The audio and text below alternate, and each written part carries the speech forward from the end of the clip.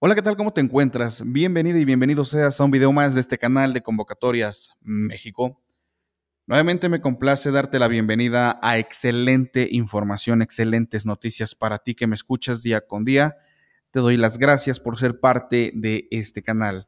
Vamos a compartirte esto tan importante referente al registro de solicitantes o a la incorporación de la pensión para el bienestar de las personas con alguna discapacidad permanente.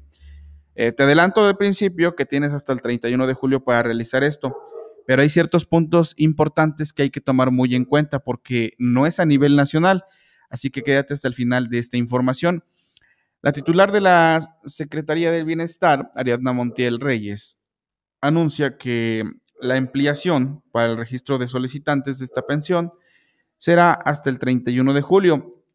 El registro aplicará únicamente en los estados de Oaxaca, Quintana Roo, San Luis Potosí, Tamaulipas y Veracruz. Si tú o algún familiar con capacidades diferentes se encuentra en situación de vulnerabilidad, puede ser beneficiario de este apoyo y recibir los 2.950 pesos en el siguiente bimestre. Sabemos que el objetivo de esta pensión para el bienestar de personas con discapacidad permanente tiene como objetivo el mejoramiento económico de las y los mexicanos con discapacidad permanente aportando así a la vida digna de las niñas y niños, jóvenes, personas de pueblos originarios y afromexicanas, cuya situación de personas con discapacidad diferentes les vulnera. Así es, ¿a quién está destinada esta pensión? Eh, todavía no es universal en toda la República Mexicana.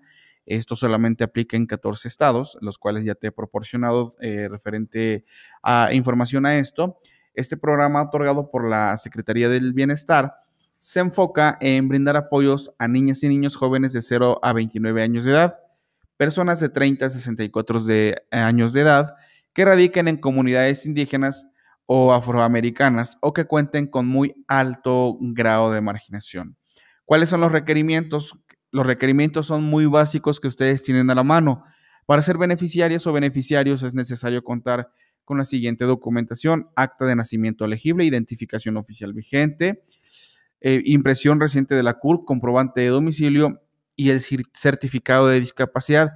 Este es muy importante, amigos, el certificado de discapacidad que puede ser emitido, lo pueden solicitar por alguna institución pública de salud y proporcionar un número telefónico de contacto para que le den seguimiento a lo que viene siendo su incorporación. En caso de que ustedes requieran la ayuda de algún familiar o persona de confianza, debido a las limitantes de la discapacidad o por tratarse de un menor de edad, o sea que no pueden acudir ustedes personalmente, será necesario cumplir con los siguientes requerimientos. Ser mayor de edad, tener un vínculo familiar con la persona con discapacidad permanente, ya sea ascendiente o descendiente, como madre, padre, hermano, etcétera. Ser cónyuge o convivir en concubinato con la persona, ser tutor encargado del ciudadano de la persona con discapacidad. Asimismo, una persona que no tenga parentesco alguno con el individuo beneficiario y sea designada por este último también puede asumir el rol. La persona auxiliar deberá presentar la siguiente documentación, acta de nacimiento, identificación no vigente, CURP, comprobante de domicilio no mayor a seis meses y un documento que acredite el parentesco con la persona con discapacidad en caso de serlo. Así que amigos, espero que esta información sea de gran ayuda. Tienen hasta el 31 de julio para realizar esta incorporación. Recuerden que solamente aplica para Oaxaca, Quintana Roo, San Luis, Tamaulipas y Veracruz. Así que no olviden suscribirse a este canal. Gracias.